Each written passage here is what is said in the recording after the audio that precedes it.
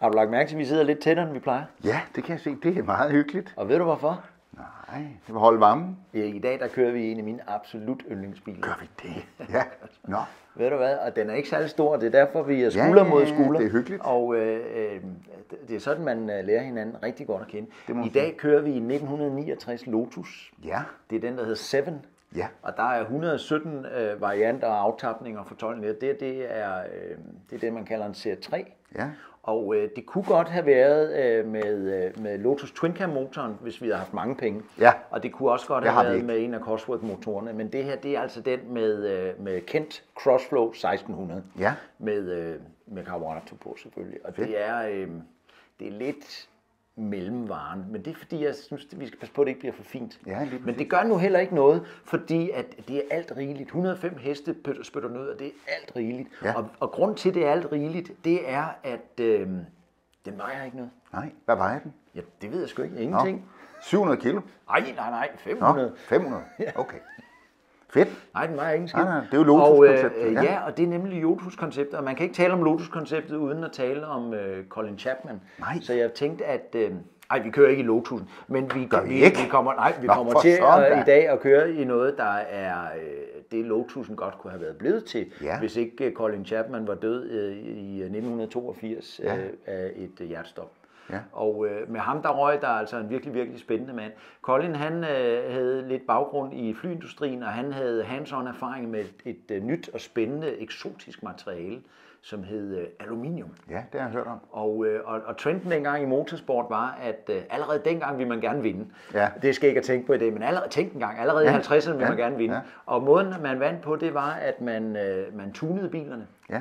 Og øh, jo mere man tunede, desto hurtigere gik det, og jo hurtigere det gik, var man tættere på at vinde. Men som I alle sammen kender det fine gamle bon mot, uh, to finish first, first you have to finish. Og Ja. det der sker, det er, hvis man tuner for meget, så er der et eller andet, der knækker, og så gennemfører man ikke. Nej, og derfor kan man ligge lunt i sving, åh, vi er nummer et, vi er nummer et, og sige... Og Og det var, derfor, det var derfor, motorindustrien og motorsporten overhovedet opfandt alle de der endurance-løb, og mange af det mest Ja, kendte. Det er jo fordi, ja. man var nødt til at finde en balance. Man kan ikke bare voldtune en eller anden Nej. bil, og så køre et halvt løb, og så er det jo lidt lige Nej, meget. slet ikke 24 timer. Nej. Og, og Collins idé var noget, der kunne defineres helt ned i en lille sentens, nemlig add lightness. Ja.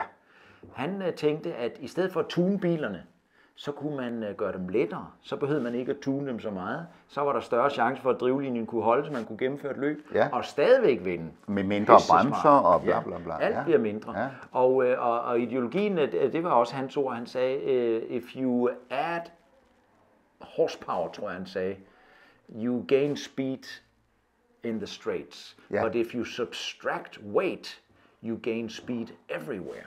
Ja. Og det, Det er var ligesom, sagt. øh, ja, det var ret klogt sagt. Add lightness. Ja. Og øh,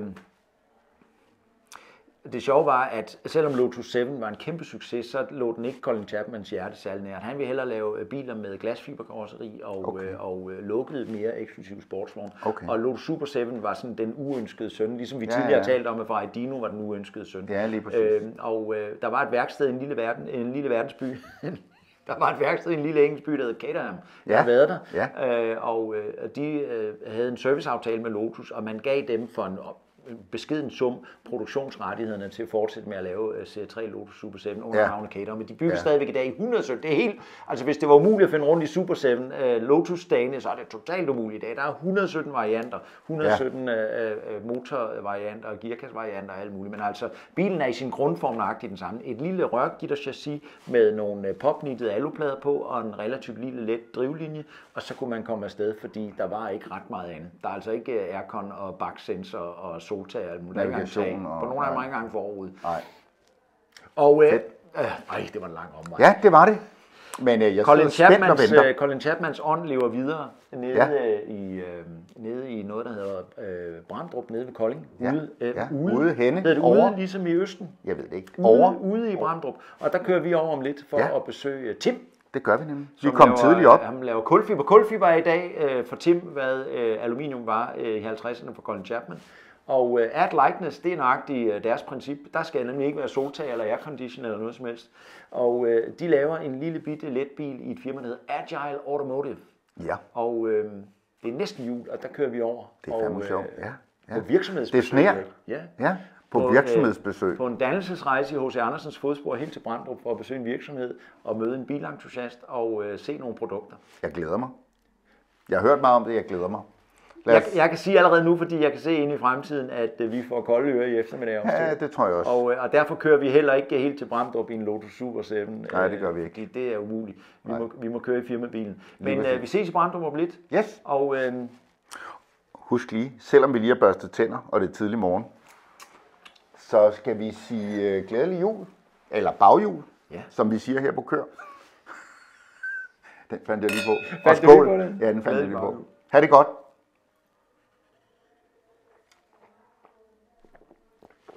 Hvad er det, vi drikker? Vi drikker en Pinot Nero fra øhm, Val d'Osta. Er det rødvin? Ja, Det kan jeg meget Nå, godt det glemte jeg at sige. Ja, Ja, det kan jeg meget godt lide. ja det er godt.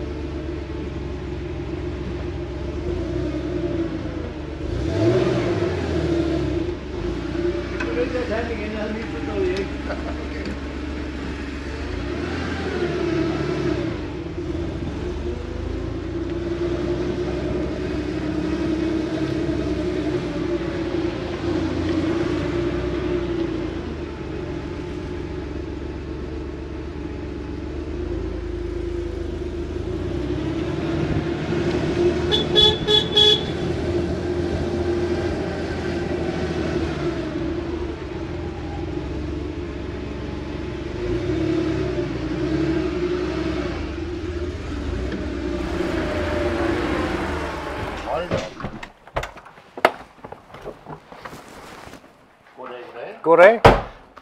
Jeg har kørehandsker på. Velkommen. Jeg har altid kørehandsker på. Hej. Hej. Tak fordi du må komme. Ja, velkommen. Jeg hedder Erik. Jeg hedder Tim. Hej Tim. Ups, der stod et batteri. Nå, se nu der. Så er vi i julemandens værksted. I hvert fald, det drejer sig om kulfiber, så ja. Ja, det drejer sig om julegaver. Tim, tak fordi du tog dig tid til at øh, få besøg af Erik og mig her i de absolute opløbsdage til juleaften. Det er så tæt på jul, som man kan komme, og det jeg tænker jeg er velegnet, fordi det her det er jo sådan en julegave, alle raske drenge gerne vil have. Jamen, vi håber også, der kommer nogen under juletræet. Ja, vi øh, mødtes på marken over ved Aarhus Classic Racer, der aftalte vi, at vi skulle komme og besøge dig, men jeg har holdt øje med det lige øh, siden, om ikke dag 1, så i hvert fald dag 2, da jeg blev opmærksom på, at der var nogle, øh, nogle danske carbon-eksperter, som øh, havde en ambition om at lave en, øh, en sjov, billig, åben gade track bil. Og nu øh, er der gået et par år, og du har, fået, øh, du har fået tid til at passe rugekassen, og nu er du sådan set færdig. Og øh, vi står her ved en af dem.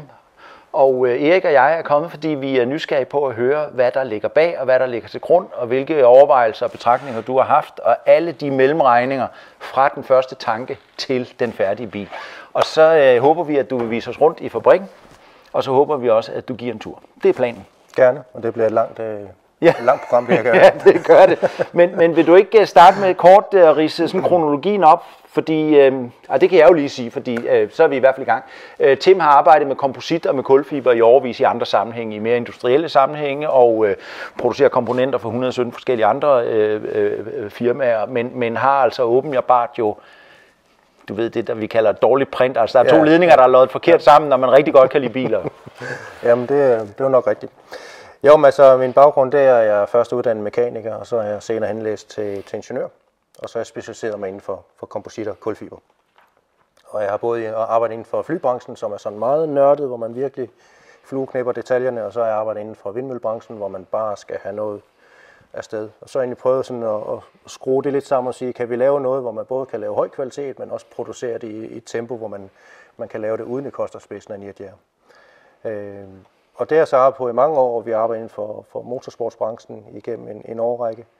Øh, og, og til sidst så jokede vi lidt med, ja, men vi har også lavet alle stumper til en bil efterhånden. Vi mangler bare at bygge en selv. ja. Øh, og så tog det ene, det andet og det tredje og det fjerde, og så endte vi så her med at bygge en bil. Men, men hele konceptet, eller hele ideen, den, den udsprang egentlig af to studerende kontaktede mig fra DTU over i København øh, Universitetet, øh, og vi lavede et afgangsprojekt inden for kulfiber og motorsport. Og så var en italiener, der ringede og spurgte, om, øh, om jeg havde sådan et projekt. Og vi arbejder rigtig meget sammen med, med hvad hedder det, universiteterne. Vi vil rigtig gerne have studerende ind, for det giver noget viden, og det giver noget energi, og de, de, de øh, kommer med en masse gode idéer. Og, øh, så det, ja, for kulfiber er jo ikke bare kulfiber. Nu skal vi ikke blive ultra nørdet, for så kan du sikkert tale i dagvis. Men altså, at du er absolut øverste hylde i kulfiber. I forhold til vægt og styrke og finish. Ja, altså, kulfiber kan noget, så jeg plejer at sige, at man skal bruge kulfiber, når alle de andre materialer øh, har givet op. Ja. Altså, så kan du lave det i stål, eller kan du lave det i aluminium, så gør det. Det er meget ja. billigere. Ja. Øh, men, men den dag, hvor, hvor styrken eller stivheden øh, simpelthen ikke kan opnås, øh, eller den lave vægt, eller vægten bliver for høj, øh, så, så, så skal man kigge på noget andet, og så er kulfiber løsningen. Der er en grund til, at man bygger fly og rumraketter øh, og Formel 1-biler osv. Mm i kulfiber. Det er fordi, det har ultrahøj styrke, stivhed øh, i forhold til vægten. Øh, og så derfor så, så, og så, så det næste er, at det, at det kan meget, altså det kan formes sådan organisk øh, nemt i forhold til øh, metaller. Så, så man får sådan en designfrihed også ved at bruge kompositter. Så, så det, er, det er nogle af fordelene. Øh, så, men, men i hvert fald så endte vi, jeg, jeg sagde faktisk nej til ham, da han ringede, fordi jeg kunne ikke lige overskue det, men, men så gik jeg alligevel og tænkte, ah, der var også, og, ja, jeg solgte jo faktisk en Lotus, øh, endnu længere tilbage, så solgte jeg en Lotus Elise til en københavner, og han plejer at fortælle historien om, at det var jyden, der snød øh, københavneren, og det siger, det passer slet ikke. Det sker aldrig. Nej, nej, det var en gensidig god handel. Jeg ja. var i hvert fald godt tilfreds. Ja. øh, men, men vi blev faktisk venner bagefter, og vi delte ja. den her passion omkring biler, og har været på Le Mans 10 gange og sådan ting. Vi, øh, vi hygger os meget sammen i, i hinandens selskab. Øh, og så snakkede vi om den her Lotus, og den var faktisk bygget, eller øh, aluminiumschassiset var bygget øh, nede i, i, hydro, nede i Tønder ved Hydro Aluminium. Ja. Øh, og det er faktisk Hydro, der har udviklet det sammen med, med, med Lotus. Så det var jo lidt sjovt, der var nogle danske aner i den. Og så snakker man, hvis man vil lave sådan en bil øh, igen her 20 år senere, eller 25 år senere, øh, så vil man ikke lave det, som man gjorde det ved Hydro. Dengang de lavede, der var det state of the art, de lige med aluminium sammen. Det var virkelig spidsen. Øh, men, men i dag, der vil man lave det kulfiber. Og så udviklede sig sådan noget, det kunne også være, altså, så er det også en sjov sløj, hvis man så lavede et nyt chassis til Lotusen med det nye materiale. Øh, og, og det var egentlig den tanke, jeg åh, ja, det kunne vi godt måske sætte dem i gang med det projekt. Og så viste det sig at de lavede et kanonprojekt. De gik hardcore ind på det, og de, øh, de gav den max gas. Øh, vi testede et aluminiumchassis øh, over i København øh, på D2, øh, simpelthen for at måle, hvor stift det var. Øh, og så derfra, så, øh, så begyndte de så at designe et kulfiberchassis, og lavede så godt et arbejde, så vi bagefter det jo færdigt til, gutter, byg det. Ja. Så hørte vi dem, og så arbejdede de et halvt år på at lave form, og så støbte de det første. Øh, og det hører så tilbage, at de startede i januar 15, og i januar 16, der stod vi med det første badekar. og og planen var så, at det skulle vi sælge til nogle af alle de her Lotus-ejere. Der var solgt 35.000 Lotus Eliser igennem årene.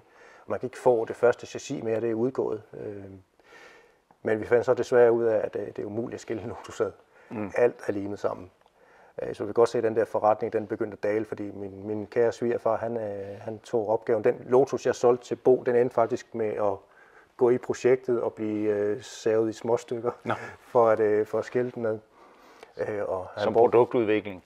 Han brugte altså to eller tre uger på at skilte noget. Det var med stiksav og med hammer og mejsel. Ja, og, nej, men hele ideen med at lime, det var jo, at det ikke skulle falde af. Lige præcis, ja. Så, så vi kan godt se, at den der forretning, den, øh, den begyndte nok at, at smuldre lidt. Øh, og så næste skridt var som, okay, kan vi finde nogle andre, der vil købe dem? Det havde vi svært ved at overbevise nogen om, fordi vi kom her ukendt. Der var ikke nogen, der vidste, hvem vi var, mm, og mm. kom fra Danmark af. Man bygger ikke biler i Danmark og nogle ting. Og så besluttede vi, at fint, så bygger vi bare den første selv, så øh, knaller vi alle de der losusdele på det her, den her kulfibermonokok, vi har bygget, og så, øh, så kører vi ned og viser dem. Så kan de prøve det, se det.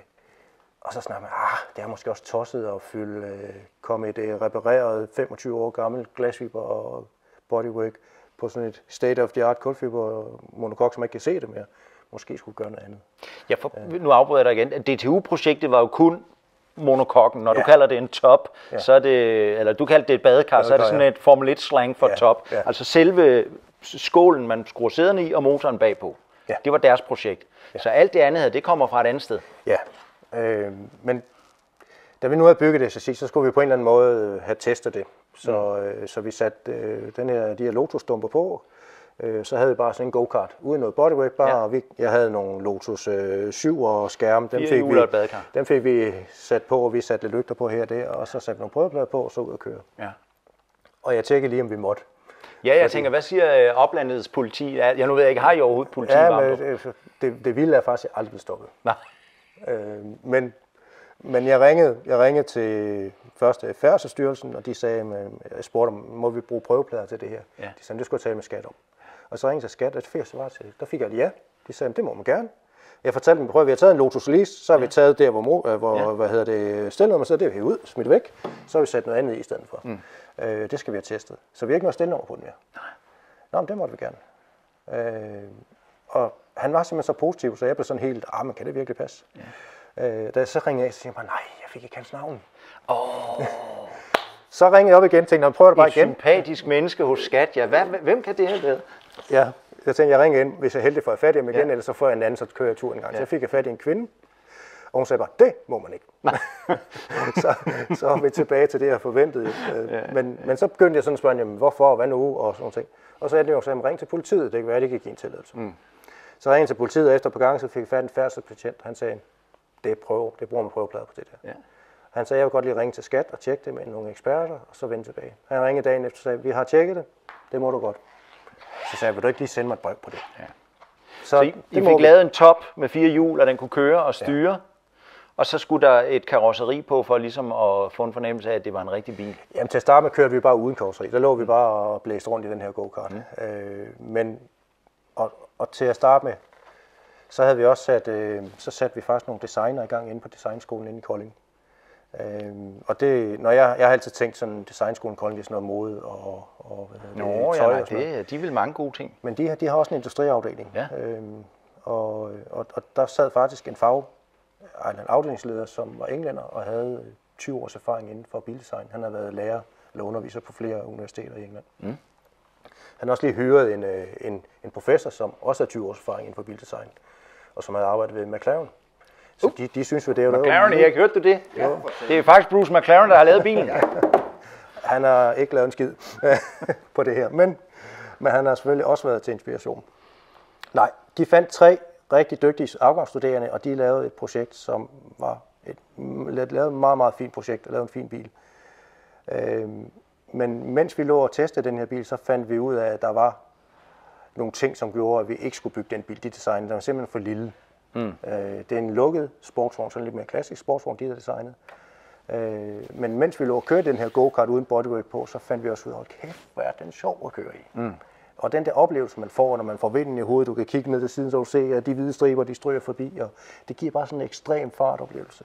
Så det bliver vi simpelthen nødt til på en eller anden måde at lovliggøre. Og så designede vi selv, og det er derfor, det, her, det er sådan en ingeniørbil. Så også øh, ingeniører og, og Bo, som var, var hvad hedder det, økonomer og sælger, jamen, så designede vi den her bil. Og et af, et af kravene det var, at vi skulle ikke have, vi skulle ikke have nogen, der skulle ikke være nogen ekstra komponenter. Bodywork skulle sættes direkte på, på monokokken. Der skulle ikke være inderskærm og øh, mellemting og sådan noget. Less is more. Ja. Øh, og så efter adskillige iterationer, så endte vi her. Øh, og det var faktisk først efter, vi, øh, vi sådan tænkte os om, hvad er det egentlig, vi bygger? Fordi vi blev ved med at sige, den er da pivgrim, den her bil. men, men så sidst, så, hvad er, det, hvad er det, vi bygger? Er det en skulptur, eller er det her det, er det sådan et, en racer, sådan en køretøj, sådan en, en drivers bil? Jamen, det er jo faktisk, det er jo det, altså det er, det er sådan en track weapon, vi er i gang med at bygge. Og hvordan ser track weapons ud, hvis man kigger på vores konkurrenter? Er de smukke?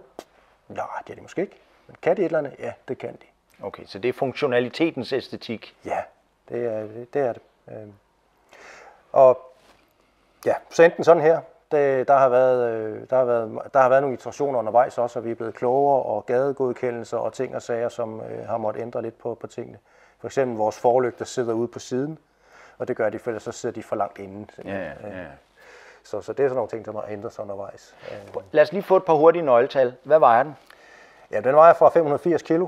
Fra? Ja, det kommer ind på, Fordi- hvilken konfiguration man tager Okay. den i. Men mellem 580 Men snævert og- deromkring. Ja, 580 til 600 kilo. Ja. Og, øh, og øh, der ligger en 1600 Ford motor, Ja. og, og den kan man øh, skrue på alt efter for godt befindende. ja. Op til 300 heste kan, den, kan standardmotoren tåle. Altså, det kan den, ja, der, der behøver man ikke pille ved motoren. Så hvis man den op- Manuel 6-trins gearkasse. Ja. Øh, Turbo? Turbo, ja. Også større turbo. Ja, ja. det, det vil, altså, den standard turboen kan kun løfte en lille smule, så, så dør den effektmæssigt. Så der skal noget mere mølle på. Da, da du og jeg var drenge, der, når man sad og spillede bilkort, så var det der med 0-100 super vigtigt, men det er jo fuldstændig arbitrært i dag, for alle kører 0-100 på 3, hvis dækkene kan. Ikke? Ja, ja, men altså med, med, med den vægt og den performance, der kan den her vel... Altså, Ja, men, men altså 0-100 på altså, vores, vores standard basismodel, som er 225 heste, den, det er 3,5 sekund. Hvis du tager 270 heste, så er det øh, 3 sekunder, og tager du 300 heste, så er det under 3 sekunder. det er rigeligt. Ja. Det, det er sjovt. Ja. ABS? Øh, er der lige kommet på? Det var ikke planen. Nej. Men Men, det er øh, ikke med din gode vilje. Nej, altså hele, myndighedskrav. hele ideen er, at, øh, at, at det er dig, der skal styre bilen. Ja. Det er ikke- Traction? Jamen altså, vi kan, vi kan tilbyde traction control. Øh, vi er blevet påtvunget at sætte ABS på, så, så det kommer der på. Og dertil kan man så tilkøbe ESP, man vil det. Mm. Øh, og man kan også tilkøbe nogle ABS-systemer til, til Park bane. assist? Øh, nej, Anhængertræk? øh, har vi ikke kigget på endnu. Er der varmeapparat? Ja, det er der. Øh, der. Der kommer en lille smule varme fra køleren af hen over fronten. Okay. Det er faktisk nok til, at man en kold dag kan mærke det. Okay.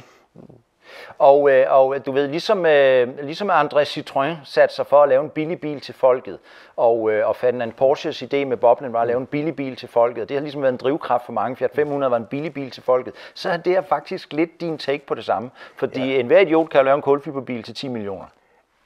Det siger jeg også. Siger Ja, ja, det, nogen, ja, nu Ja. prøver vi nu maler Ja, ja, ja. med den brede pensel. Men din idé var ud over, at det skulle være let og hurtigt og frisk og skægt og alt muligt, også at det skulle være tilgængeligt. Ja, og det synes jeg er vigtigt, øh, og, det er også en ekstra udfordring, fordi at nu, nu kan man ikke bare give los. Nej. Man bliver nødt til hele tiden at tænke, øh, hvad koster det? Ja. Og hvordan kan vi gøre det her billigt? Hvordan kan vi gøre det nemt og simpelt?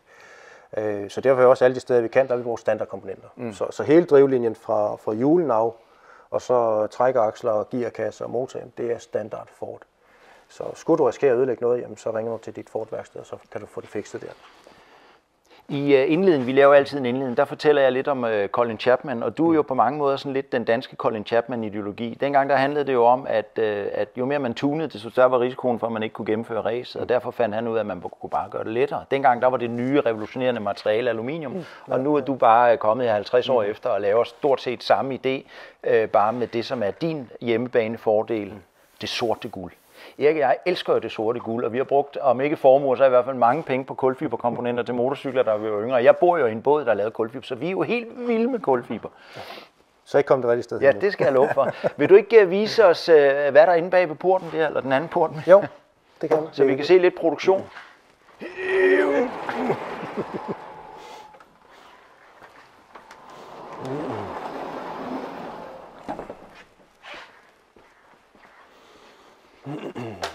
Nå, det er her, det sker. Det er det, ja. Og herover der har du det, du så kæk kaldte badekarret. Ja, det her det er en komplet øh, monokok. Det er kundebil nummer 3, vi er ved at samle her. Øhm, og der står den med, ja det er kun lige monokokken, og så er der en bagramme på, og lige en retstamme og lidt, lidt forskellige ting. Men her så er det, det, det er sådan, det er den bærende struktur det her. Det er det her, alt bliver, der bliver, alle tingene bliver spændt på den her komponent. Øh, og det, er et, øh, det vejer 60 kilo, og er lavet totalt i, i kulfiber består af seks komponenter, der bliver, der bliver limet sammen. Og, og har jeg ret, hvis jeg, øh, nu skal jeg ikke belære dig om kulfiberen historie, men, men da Gordon Murray ligesom fik iværksat øh, McLaren F1, der var det ligesom den første serieproducerede performance mm. Sportsvogn, der var baseret på det. Ellers så var en, en sportsvogn og en racerbil jo lavet på en tilsvarende konstruktion, men i rørgitterramme. Svejste rør i en eller anden form. Altså oprindeligt så var det jo rør, man, man svejste sammen, og det kan man også lave nogle, nogle fine og, og stive strukturer ud af, mm. men, øh, men, men en af de fordele, som kulfiber har også, det er, det er, det er rigtig sikkert, det, det har en høj, høj energiabsorption, så, så, så sidder man i sådan en, et, en kulfiber, kulfiberbadekar her, mm. så, så er man godt beskyttet. Man ser jo også øh, de der Formel 1-kører kravle ud af et varv, som, hvor de har taget 40G eller 50G, og så Ja. kravle ud og gå fra og ryster sig en gang, og så, så er de klar til, Børster støvet af. klar til næste bil, når den, øh, når den er skruet sammen. Ikke? Så hvis man skal forklare et lille barn, hvordan en bil er skruet sammen, så er det her faktisk det aller, allerbedste. Fordi om lidt, så kommer der nogle bærearme på og noget affjedring herude. Der er alle fittings allerede lavet til. Ja. Ryger der batteri derned og en ledning, så bliver der skruet en motor fast her. og Motorophængene hænger her allerede. Det sidder der så der. sidder der et udstødningsrør under den, og så er vi sådan set ved at være der. Ja, så skal der nogle hjul på, Ja. så, så er vi ved at køre klar. Jamen altså, det her det er, jo, det, det, er jo den, det er den simpleste bil, man kan bygge. Vi har jo sparet alle de ting væk, der er besværlige, så der er ingen forud, der er ingen øh, døre, der er ingen noget tag, der er ikke nogen vinduesvisker og alle Nej, de ting. nej. Varmeapparat. Men, øh, så, så, så, så det, er, det, er, det er den reneste øh, vare, man kan få her. Og så begynder man at, øh, at, øh, at skrue lidt komponenter på, og så, så ligesom i tv-køkkenet, så springer vi direkte til den færdige Quiche Lorraine, Ja. og den holder så herover. Ja, her det er den aller, aller første bil, vi har bygget. Det er vores prototype. Men man kan jo tydeligt se, når man kommer fra den, man kan jo tydeligt se, hvor, hvor det produkt er, og så er der så mokket noget på. Ja, der, der er faktisk øh, der er en ret stor forskel på den. Den, her øh, monokok ser anderledes ud. Den har sådan et nedhak på siden. Det, det har alle de andre biler ikke. Så den Nå, er, helt, ja, det her det er et ja. unikum. Okay. Øhm, og det var fordi, til, helt til at starte med, så var det tænkt til, at det skulle være en lukket bil, så skulle være så meget indstigningsrum øh, som muligt. Øh, men da vi gik væk fra det, så kunne vi lige så godt udbygge øh, monokokken og få den ekstra stivhed og, mm. og, og lette produktionen også Ja. samtidig. Ja. Øh, men ja, så, så det her, det er, det er bil nummer 0. Det er prototypen. Den, er, den var først kørende der i øh, sommeren 16, og så er ellers blevet bygget mere og mere færdig. Blev i efteråret 17 totalskade, rullet to og en halv omgang. Med nogen i. Ja, der var en... Var der nogen, der øh, døde? Der var, Var der nogen dyr, der kom til skade? Hvis der var nogen, der kom til skade, vi nok ikke stået her i dag. så, så heldigvis ikke, nej. Okay, Men det er jo også et godt tegn, kan man sige. Den er crash-testet for real, ikke? Det, det Færdselsstyrelsen vil ikke godkende det som en officiel crash-test, men, øh, Nej, men, nej. men de her udtaler, de, er- de føler sig helt øh, trygge ved at sætte bilen på gaden. Okay. Øh, og det var også en, det var en voldsom test. Øh, men, men det gik godt heldigvis. Og det leder os herhen. Ja, det her det er kundebil nummer et, og den står øh, i, i godkendelses øh, setup, så det, det er den her, det er sådan bilen ser ud, når den bliver, bliver gadegodkendt, og så, så kan folk ellers tilkøbe ekstra udstyr til den. Så det her det er sådan den, den basismodellen. Det er jo lidt spøjs, for der er jo mange mennesker, formodentlig også blandt vores seere, der har været til syn og er blevet kasseret på grund af en eller anden lille nitty-gritty ting, eller et hak i forruden, eller, eller andet. så kommer du med det her, som jo skriger til himlen, og, øh, og får det godkendt. Men der er altså nogle regler, og dem har du sat dig ind i, og hvis lygterne sidder i den højde med den afstand, og man i øvrigt kan whatever, så, så er det altså en bil, og så kan den sættes i produktion. Der er faktisk rigtig mange, der dumper på, at lygterne sidder forkert. Ja, Øh, det, det, det virker ret dumt. Ja, men, men, men, men, øh, men det er komplekst, og, Ja. og vi har også haft, faktisk haft svært ved at montere lygterne. Som sagt, der blev vi nødt til lige at sætte forlygterne lidt ud på siden, ja. ja. for at få dem langt nok ud, og, og det er kun lige vores baglygter kan være der mm. øh, inden for, for målet. Men ja, der er en masse, der er en masse krav, men, men der er sådan fire måder at godkende en, en bil på i Europa. Der er den fulde godkendelse, som alle de store gør. Så er der en europæisk typegodkendelse for småbilsprocenter. Den kunne vi tage, men har valgt ikke at gøre det. Den er for dyr. Mm. Og så den, den nederste, det er så, at man laver en enkeltstyksgodkendelse. Det er det, vi gør. Så Okay. vi, vi godkender faktisk kun den her bil. Men hvis vi bygger identiske biler, så kan vi gentage den godkendelse Så man 20 gange om året. copy-paste noget af det.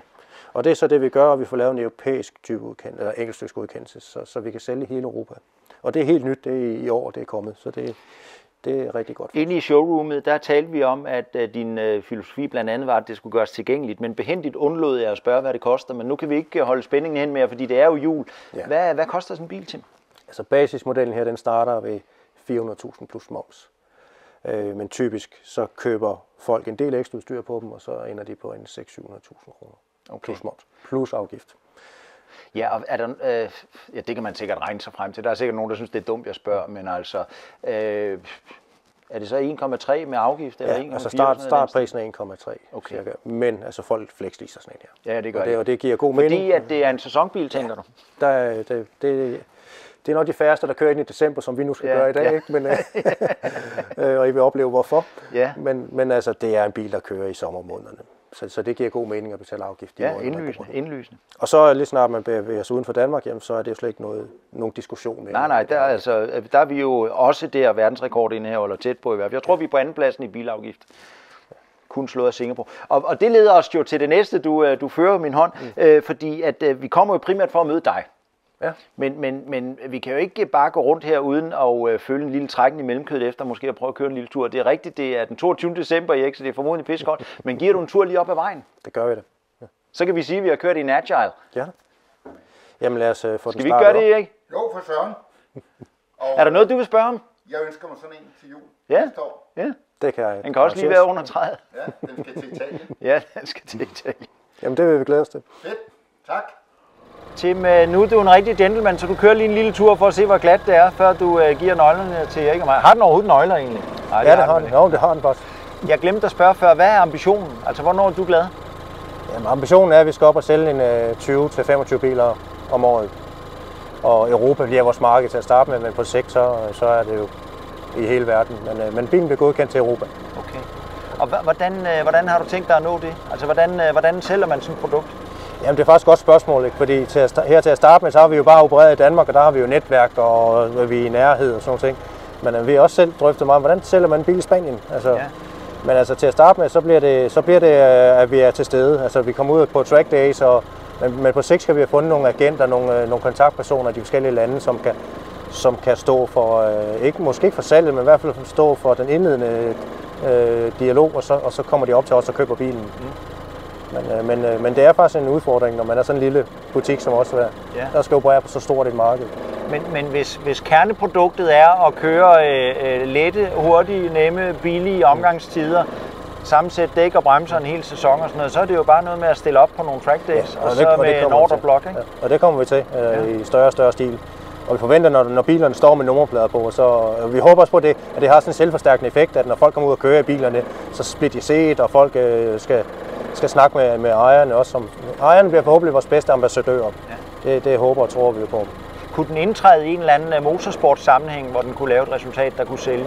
Ja, altså til at starte med, så kommer vi til at sætte øh, biler ind i DEC, som er langdistanceklassen i Danmark. Okay. Øh, og på sigt, så skal vi også ud på de europæiske baner og køre. Så vi risikerer at se dig på Dubai 24 Hours en dag. Nok ikke mig. Jeg har, jeg har kendt mine begrænsninger. Men en eller anden. Men andre, ja. Erik, er det ikke øh, næsten umuligt at forestille sig, men om et øjeblik, hvis ellers Tim kommer tilbage i et stykke, så er det os to, der sidder her i badekarret og skal Jeg køre en tur. mig.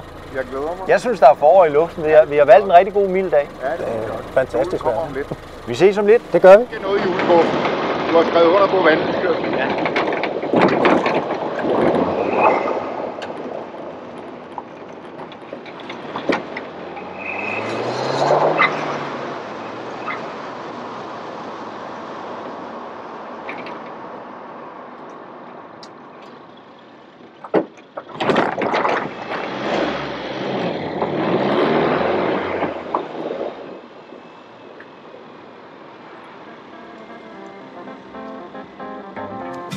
Hvad så, Erik? Nu er vi ude og køre Agile.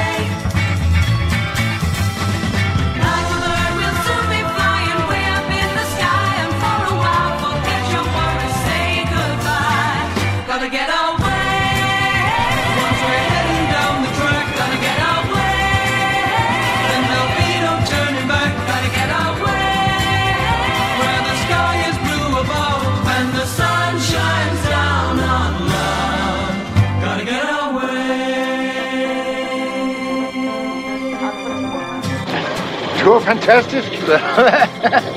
Vi lever. Vi lever. Tim, da vi talte sammen lidt tidligere, øh, der tillod jeg mig en lille analogi til Ferdinand Porsche, André Citroën og, og hele ideen med at lave en billig bil til folket. Men heldigvis er bilen jo også andet og mere end øh, persontransport, og der har jo også været en masse andre nævneværdige karakterer i bilens historik, som har sørget for, at det også skulle være sjovt, og at det også godt må gerne gå lidt raskt. Mm. Og jeg opfatter egentlig lidt dig som værende både øh, folkevognsmanden, men også øh, cutting edge øh, racerbilsmanden. Så du sidder mellem øh, de to stole der. Det var, det var øh, sindssygt sjovt, at vi måtte komme her, Erik og jeg, Erik nikker. Og øh, det var rigtig dejligt, at vi kunne få en lille tur og lige få øh, blæst skalpen af. Og øh, vi trykker tommelfinger og håber det på det bedste. Håber på, på det bedste. Og så glæder vi os til at øh, blive inviteret næste gang, der er en track day på en eller anden racerbane. Det vil vi rigtig, rigtig gerne. Det skal vi blive. Så kommer vi med øh, køredragter med kørlogoer på. Skal vi ikke... øh, Er, er der noget, du vil spørge om, Erik? Nej, det er bare den der invitation til en track day. Det er, Ja, jeg ja. ja. Jamen, I, I bliver skrevet på listen. det er godt. Super. Tak fordi du tog dig tid her den 22. december. Glædelig jul alle sammen på bagkant. Og tænk, at vi fik en uh, Agile Automotive uh, SCX Med 225 heste. under juletræet. Wheels are turning into motion. We could ride the wide ocean. Come our way. Like a bird, we'll soon be flying way up in the sky. A hvorfor siger du altid, at du kører i et eller andet superlækkert? Det er fordi, det har jeg lagt mærke til, det siger alle de tjekkede YouTubere altid. Men det er jo løgn. Ja, men det opdager de der ikke.